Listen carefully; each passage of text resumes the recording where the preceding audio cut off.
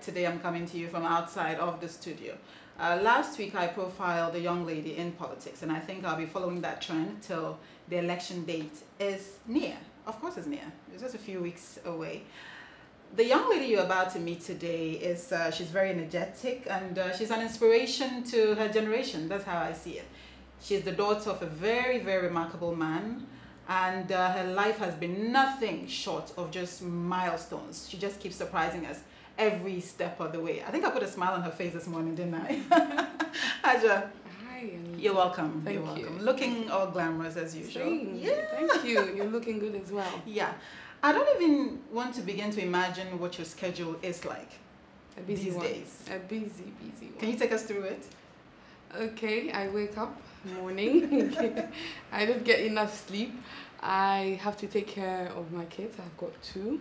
Uh, make sure that they're ready for school, and go to my campaign office. Make sure that everybody is on track in all the lecture areas. Everything is moving on. Have to go to the chambers and see if um, lawyers are working the way they're supposed to, and go to daddy's church and check if everything is working as well. So it's quite a busy a busy day for me, but um, I I find a way of uh, managing Wow, and making wow. sure that I do. It's, it's, it's quite impressive. I've, I've always said that you, you've always been ahead of your time. You Is know? it? Yes, I wrote, I wrote a few things about her. This young lady, she was homeschooled. Uh, she entered university at 17. Please correct me if I'm wrong. You graduated from law school at 22, and at, uh, at a very young age still, you have your own law firm, and uh, you've entered into politics. yes. How did all this happen? For you, how old are you now, by the way? Almost, almost there. Almost there. Ladies, welcome. never Ladies age. never say their age, so I mean, welcome to the club. That's true. That's true. But I'm quite young that I can promise them. Um, yes, as you said, um, it's been a whole kind of um, development and transition for me, um, where I started from, where my father was coming from. Started off as a very humble person, um, as a farmer, as a pastor, and God has raised him to what he is today. And he made sure that he gave us all the education that we were required to get um, at home because he wasn't so much in favor of the um, new Educational JS, system. uh, yeah, JSS SSS system. So I belong to the old system, and so he des- he decided to hire teachers at home and teach myself and my big sister.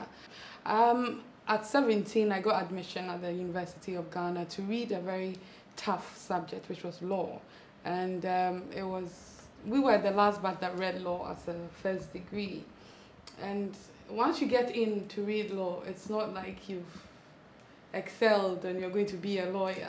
After, There's more to it. yeah, after the first year, you had to justify your inclusion. That's what they call baptism of fire. You have to make sure that all the courses that you were given, your grades were up to the grade point that were required of a law student. And hopefully, after first year, I qualified. I went to the Ghana School of Law um, in 2002 and was called to the bar in 2004. So as we speak, I'm eight years at the bar. I did not stop there. That's a mouthful. Take a deep I- breath. Take a deep breath. take a deep breath. Okay, take a deep. Go, go on. But um, after law school, actually before I was called to the bar, I gained admission at the um, George Washington University in America. I, we- I got I went there in August 2004, and I had to come back to be called to the bar. And I read my master's in procurement law. It was a very new area.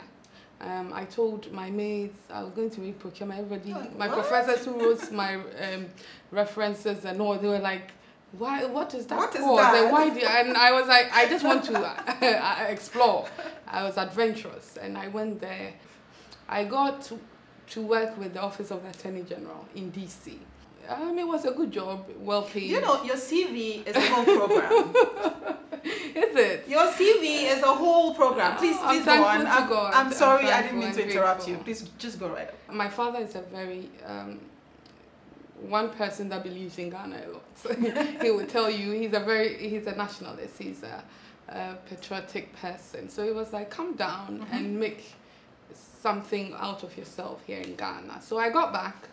Um, I worked with Kulendi at law. I worked with Honorable Atachi and Zoe Achen Co. I worked with the legal aid board. And then um, they were looking for a legal officer, at the Public Procurement Authority. That was around the same time that uh, President Kufuor had passed the um, Public Procurement Act and the board was set up and they needed a lawyer who had a specialty in procurement. And there you were. So I applied and I got it. So the first legal officer of the Public Procurement Authority now. And I'm proud to say that. Um, I, I, Um, just I just put up my, my, my hand.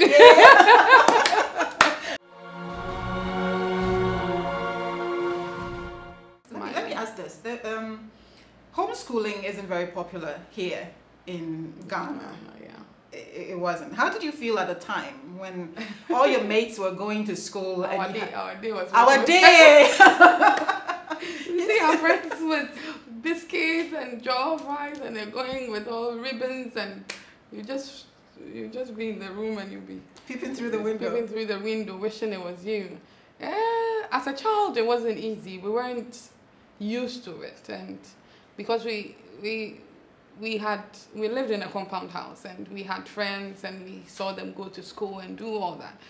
Um, we wanted to feel like them, but we got to a point we realized It wasn't we- gonna happen. Yes, so we better stick to what we we were in and and and work with that. We Was, was, missing- it, that, was Daddy strict? Was, was Daddy a strict? Daddy was strict with books, yes. He's the best dad you can talk about. But when it came to studies and books and all, so when our reports, we they did reports and everything, and you go through it and all. So if your grades weren't good, you'd, you'd be spanked. Understand? so in, in, a, in a way, Daddy was like the headmaster. Oh, he was a head teacher himself. and he made sure, and we did, you know, preps and, you know, you sleep and you. There was wake, prep? Yes, then you sleep and the teachers would come and wake you up late in the night, like nine, then you go and sit down and read, and we had a timetable for our evening sessions and all. So it was more like you were in school. Boarding And- house. Yes, and in our room, our, our beds were bunk beds like secondary school. So He made sure that you had the whole feel so he psyched us to believe that we're in school, and I think it worked. It worked, it worked. Wow. Your, your, Yeah. dad, your dad is an amazing person. He's very Yeah. creative. That's what I mean. He sets his mind to something very futuristic. You know, he, he thinks of the future, you know, and uh, I think it's rubbed off his children because, I mean, at 17, let, let me ask, I'm a bit curious. At 17, first of all, homeschooling, then at 17, you enter university. And law is a big deal. It was. It, it- is still a big It- deal. It is. How was it like for a teenager entering law school with all these sometimes gray hairs? I'm sorry. And sometimes uh, that brings me to that. Sometimes I'm working with my siblings and I see a mate of mine. I say, oh, this was my mate in school. Like, are you all your mates are go? Old people. no, uh, it wasn't easy. It wasn't easy, but the the training that we had in in in school, like at home, Mhm. uh, it was strict strict books. There was nothing like going for entertainment or anything. So th- those who knew me in Legon, who were my friends in Legon, would tell you that this is someone who was always with their books. And we're like, ah, this girl, she doesn't have a life She doesn't. and because I was tight, and we were in that myself and my big sister. She went earlier than I was.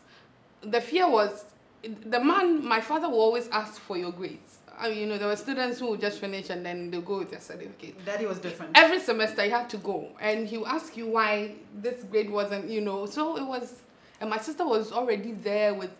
You know, AA grades, and uh, I couldn't. That was have- a tough and that was the standard. So- a tough act to match up to. Yes, and I think I fell into the company of good friends as well, who were also, you know, Professor Nabila's daughter, Daphne Nabila, Celia. You know, they were all, you know, daughters of lecturers who were also like bookworm and they, were, they called us a bunch of bookworms, you know. We're always in the library, in the reading room, especially the first year, because we all wanted our names to be there. And it wasn't like they won't, nobody would know you didn't get law. At the end of the year, the names will be pasted, Pasted on the anywhere. notice board. And nobody would want their name omitted because it's public notice, you know. So um, it helped. I keep saying this. I say this every time. We all have we all had dreams when we were growing up. You know, I wanted to be a spy. in some secret Yeah. that is too much. I, I, I grew up watching too many Agatha Christie movies, James Bond movies, you know, so I had this thing, you know, I wanted to be some secret service. Obviously, that has gone down the drain, you know, sitting right here. Um, did you, how did your love affair with law begin? Did you always know that you wanted to do law? I didn't really envisage myself as a lawyer from childhood. But I was the type who would talk a lot and wanted to know everything and would argue about everything. So uh, from time to time, my father would say, uh-huh, lawyer no you know, or, uh, it, you know, even if it's not my matter, I'll find a way of making it my matter.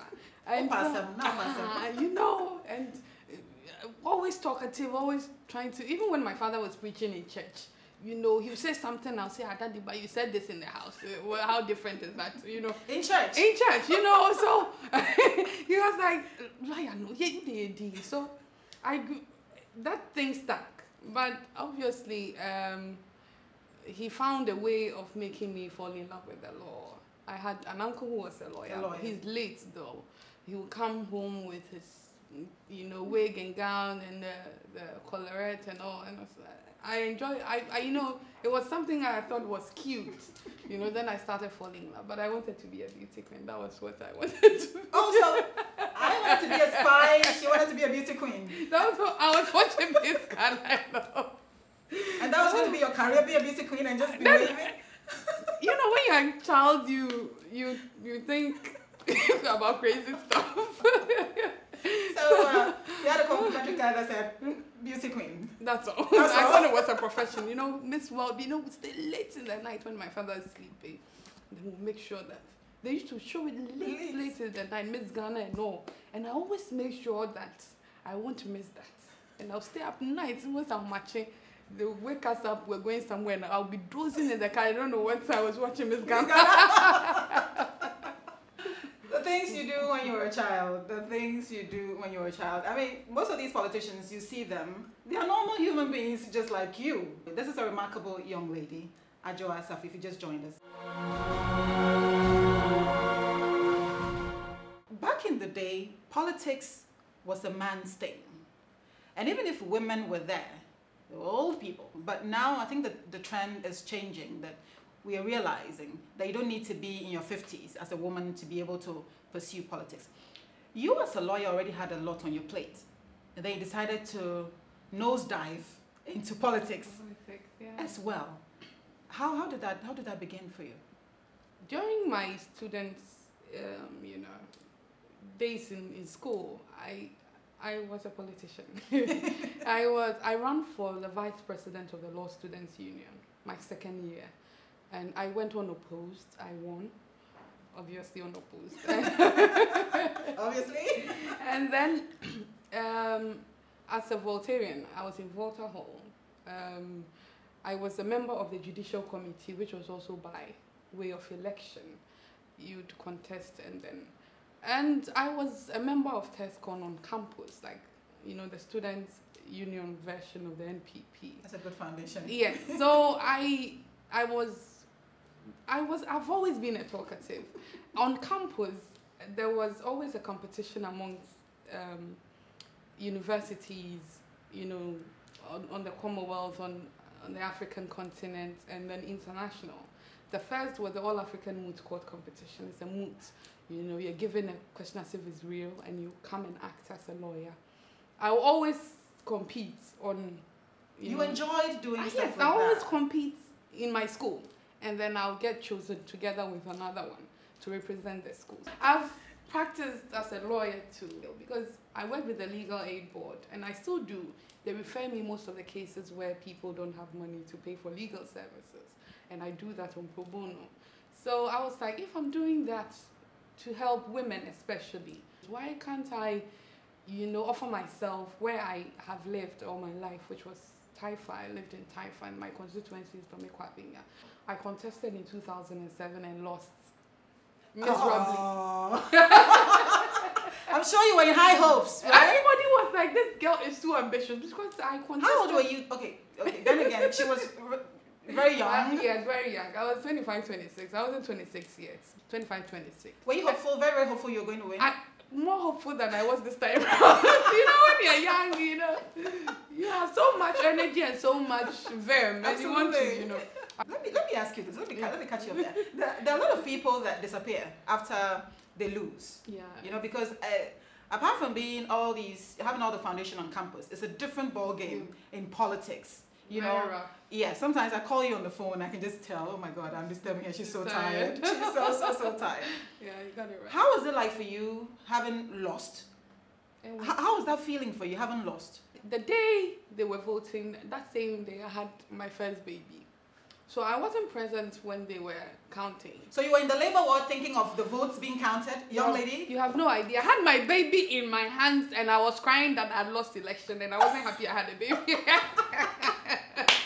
it was a mixed feeling. I'll cry a bit and I'll console myself. Okay, I have a baby, so you will keep me company. So it was terrible. you're actually the labor ward thinking, okay, maybe. Uh, I have to win and then I have my boy. I then push, win, I push, my baby. push. I, I was it was something else. And, uh, it, it was it was sad. It was sad. But after all the crying and um, people, you know, you had family, you had friends who would console you, and you had uh, mentors like in the party who would urge you on and tell you that first times are always like that. Just put, keep pushing. So my baby was about six months, and then I started. I hopped over onto. I hopped onto the campaign trail again because that was my passion. now, now that you have won, I mean, um, what, what has changed since you? First of all, what was the feeling like when the votes were being counted this time around? Um, it was unbelievable for me, but I must say that we put in a lot of work this time around because the first time I was very ambitious and I wasn't You looking at them. I ignored certain things. Um, this time we, we put in a lot of work. We made sure that my message sank well with the people. We've now it's, it's time. We are barely a few weeks away. This is the big deal. yeah. This it's, it's, it's happening now. The party or the honeymoon period is over, Over, if, yeah. as they say it. Being a member of parliament is a big deal. A lot of people look up to you. A lot of people look up to you to to save them or be their savior, help them solve their problems. That is a huge task. Are you ready? Um, I am ever ready because politics is about leadership. It's about service. It's about um, being there for people and making sure that the right policies and the right decisions are taken. And I believe in participatory politics as well. I cannot have it all. I can't have all the wisdom in the world. And so every right politician, right leader, you need to get the right people around you. Absolutely. You need the right team to manage you. And I allow myself to be managed. I allow myself to listen to the needs, the worries, the concerns of people and to contribute towards national development. So I'm just praying that all the cheers, all the um, love that I feel around in the constituency will translate into votes on 7th so. of December. Um, Yeah. like they say, may the best person win or may the best party win. I am winning. NPP is winning. Yay! let's let's talk family. Let's talk family Yeah. now. This is a very busy schedule that you have. You have how many babies? I've got two. There are, there are no babies now. There are two. There's- Two there are no- grown people. Two grown. I have a four-year-old boy and a two-year-old. A two-year-old. Yes. How do you juggle motherhood with being a lawyer and being a politician and being all over the place? How, how does I that try happen? to do it some way somehow. Um, I I think it's all about um, time management. I try to manage my time well. I, I also have support from family, Mm-hmm. but I always try to make time for my kids because this is the age, the formative age that they are in now. So if you don't keep an eye on them, they pick up the wrong habits and the wrong attitudes and all. And I think they- I'm you- doing you- well. Yeah, you're doing well. You, you're not homeschooling them. No, I'm, I'm not that innovative as my dad is. You're not homeschooling no, them. no, they're, they're going through the normal school. That, that's that's wonderful. Um, you can answer this or choose to ignore it. I'll edit it out if you want to. Am I married? yeah, you're, you're asking yourself. Because people say that when women are in politics, They you know, their, their love life or their marriage suffers sometimes and all that, you know. oh So yes, I've got somebody. Yes. You've got somebody. Yes. Yes. Yes. Okay. Yeah. We'll leave that. Very, very, that. very somebody. very, very, very somebody. okay. And how about leisure? Apart from all these, what do you do for leisure? Do you even have a leisure time? I wish I had. I, I wish. I don't have it too many times. but at my leisure time, I'm so tired. I only sleep. I sleep. I read my, my Bible, and um, I also watch movies a lot. African American movies. I love them. You know, like why did we get married? Okay. You know, it makes you laugh a bit, and it makes you understand how. That's quite a tricky one. That's a tricky movie. I like watching African American movies and I sleep a lot. When I get the time, I sleep a lot to catch up on uh, all the rest that I need. Okay. So I, I've, I've, I've, my life is quite boring. If I'm not on a campaign trail, I'm not with my children in church. That kind of schedule is not boring at all. It's Just morning. Today we had to yank her out of a meeting to bring her here, and I know from oh. right here, she probably has like a couple of them she has to attend to go and to. chase posters. She's going to chase posters, right? How can that be boring? So, I mean, from here, you're going round, round, and it's going to continue all the way to December. If you had a message for your fans, let me put, put it that way, who are watching you, what will it be? that they should be courageous. They should be focused determined set you know targets and goals for themselves. No matter how bad you find your situation make the best out of it. It hasn't been smooth all my life. Uh, there's been rough moments when i thought i can do it but you know when it gets there you can only trust in the lord and no human being. Absolutely. just keep your lord closer to you. Ask him. Do your bit. I'm a practical christian. I won't be in my room pray every day and expect manna to fall from heaven. But with your prayers and with your hard work um, i believe that whatever your dreams are whatever you, you, you want to set what target you set for yourself god will help you do it. And for my constituents in I am pleading with them that on the day of voting, the 7th of December, we have about 20 days more to go. And I believe that since um, there are two women contesting, you need to pick the best out of the two. And um, since we make laws in Parliament and you have a lawyer who has been there That's a with very you, subtle way of saying it. who has been there with you and was born and bred and lived in Taifa is very, very concerned about what your needs are and has been a part of your problems all throughout. She will be the best to solve or the best panacea to your problems. So vote Lawyer Joseph form number two. Thank you. May the best person win. I am winning! Yay! We wish you all the And best. so the free SHS is coming and it's You just had to say that, right? I'm a beneficiary of free secretary. I was home, I didn't pay She was home. She didn't pay school. So, I mean, well, before we say goodbye, what, let's talk about some of your favorite things. What do you like to eat? What is your favorite food? Red red. Oh, and like and beans and red and, red and ampesi. and ampesi and plantain. Uh-huh, plantain with kontomire. Pour the you know oil on The it. oil, you can just No, see it like uh, yes. it has to be. floating. floating all of zombie will be in the middle. Adwoa, thank, Thank you. you. Anita. Thanks for having me. Thank a you. It's been a real pleasure having you here. Uh, so there you have her, beautiful, confident, and uh, she's told you what she has to offer. Thank you for watching this segment, and uh, stay tuned next week. Who knows who on my profile again? I'll be right back.